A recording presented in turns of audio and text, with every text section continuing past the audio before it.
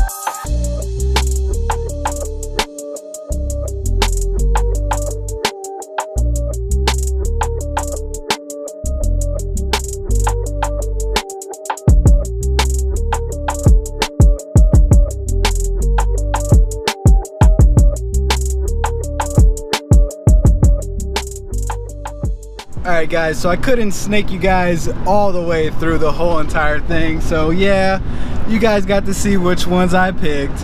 Leave it in the comment below. Let me know what you guys think of them. I will be taking them home, cleaning them up, and maybe getting some more B-roll shots. Probably not, because I'm going to wait till they're on the car. You already know, fam. So it'll be a couple of seconds for you, but it'll be a couple of days for me. So I'll see you on the other side, guys. So it is the following day and we have the wheels loaded in the actual TT. Look at this.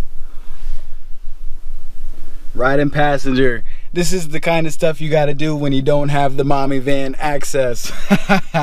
so we jammed them all in here because yesterday I got a little too excited. I'd say a lot a bit excited.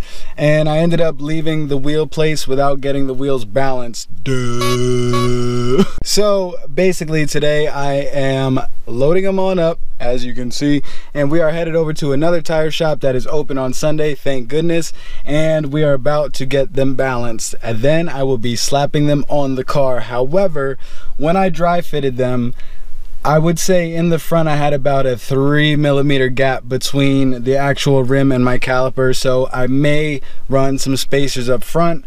Um, and the wheels you know they look great but they look a little bit smaller than 18s because of the step lip so they're running like a little bit on the small side for me but I think I need coils. I have a little bit of wheel gap, which you guys will see in the finished product because I'm gonna show it to you guys with the wheels on.